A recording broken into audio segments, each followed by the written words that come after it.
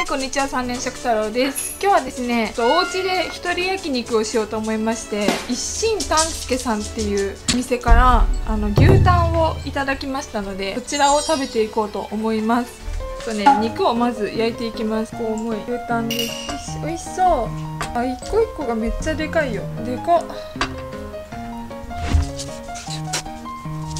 牛タンは塩と味噌味が選べたのでちょっと私は味噌味にしました。なんかご飯に合うのが味噌味の方が合うよってことだったんでちょっと味噌にさせてもらいました。ということで早速いただきます。疲れた今日。今日はねさっきまでちょっとネイルに行ってきて目を変えたんですけどかわい。い3時間ぐらいネイルサロンにいてやっと家に帰ってきました。今日一日何も食べずにいたのでめっちゃ疲れた。私まず先に焼ける前にコーラいただきます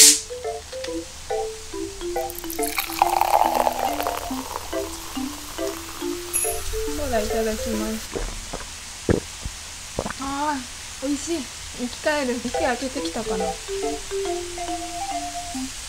いぶいい匂いしてきた。あそうお米もね。こちらなんですけど焼肉専用米っていうのをいただきましてこれ4合分いただきました。ちょっとねまだ炊飯器にあるのでなくなったらおかわりしようと思います。焼肉これちょっと焼けたんかわからんの。ちょっと1個食べてみようかしら。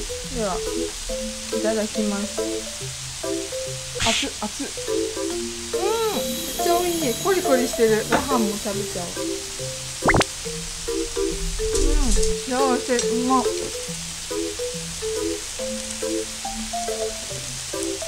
ょっと甘めの味噌で。ご飯も甘い。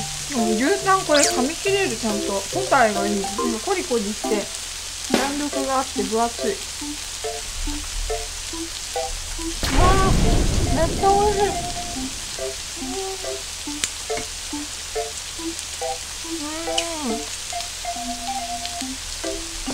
もめっちゃ美味しい。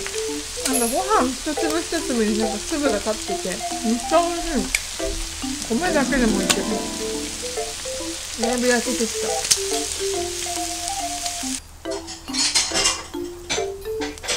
うん。な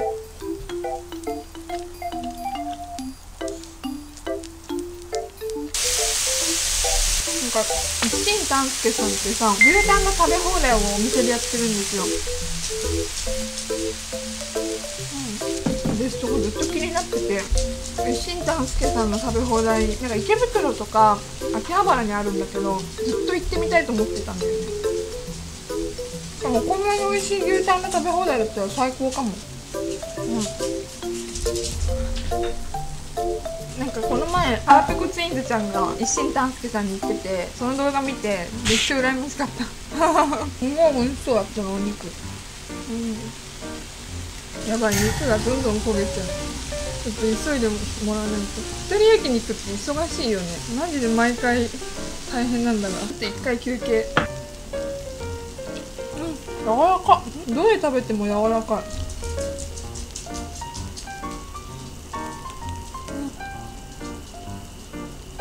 それこそ最近私なんか自分が大食い YouTuber やってるのに人の大食い全然見ないんですね。なんだけど最近ねちょっと研究も兼ねて見るようになってきて。同じ大食いでもさ全然さなんか個性あるみんな。全然違う動画の作りだったりして。それこそなんかしのけんくんとかめっちゃ動画面白いなと思って。ナレーション形式って多分誰もやってないよね。大食いの中で。その独自のジャンルというかしのけんくんしかいないから。なんかなんていうの？唯一無二。う ん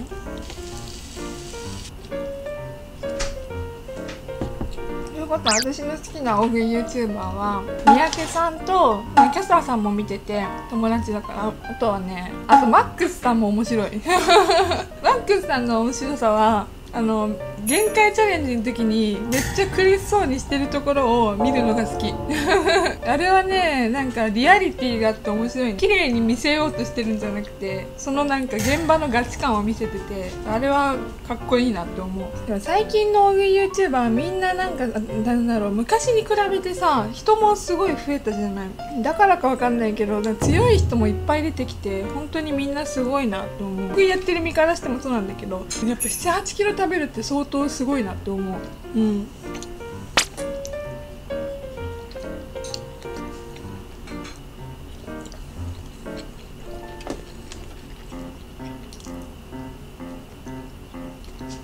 だってやっぱみんな食べ方が綺麗だよね。チャレンジとかでもさみんな食べ方綺麗でさなんか昔の大食いってなんか昔大食い選手権とかあの時代はさなんか大食いイコール食べ方が汚いみたいに思われがちだったけど最近の大食いの人ってみんな食べ方綺麗だと思う。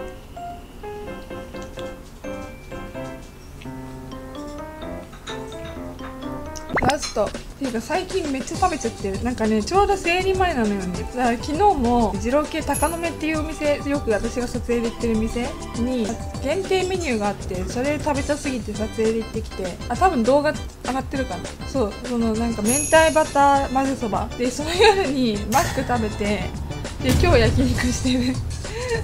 食べ過ぎだよね。うんなんか生理前ってやたらお腹すくんだよね。うん。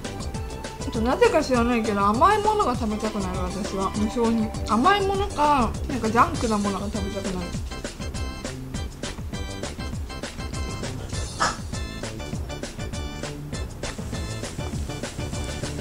美味しい。コーラと牛タン最高かも。あでも生理前に食べてちょっと太っても生理終わってからちょっとあれ気をつければいいやっていう考えだから毎回。そう。あだからこういう日はたくさん食べても気にしないようにしてるストレスをためないようにしてる。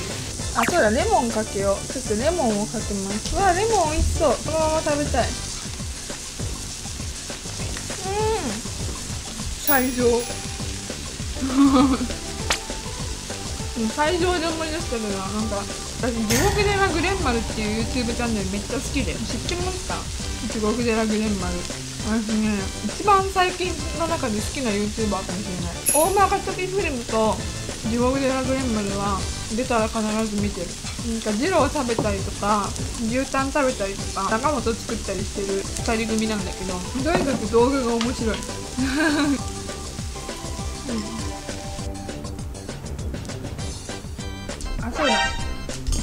ネギだれがあるからちょっと小山くんが作ってくれたネギだれちょっと使いたいと思います。本当は塩の方が多分ネギだれって合うと思うんだけどちょっと味噌にも使ってみます。こういうのはいっぱいかけとくのがうまい。いただきます。うんうまっうん。とうん。うん。ネギ塩だれしか勝たんかも。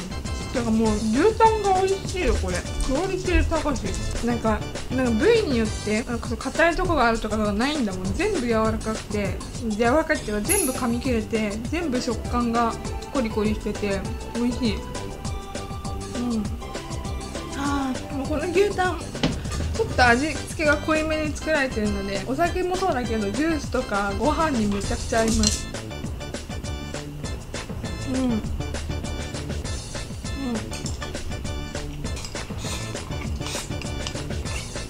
までした。はいということでごちそうさまでした。日清丹助さんの牛タンめっちゃ美味しかったです。こちらのお店仙台牛タンが食べ放題のお店なんですけど店もあるしこういう風にね通販でのお取り寄せもできるので気になった方はぜひ下の概要欄から見てみてください。ということで今日もありがとうございました。めっちゃ牛タン美味しかったです。また食べたい。また食べたいぐらい。ということでありがとうございました。バイバイ。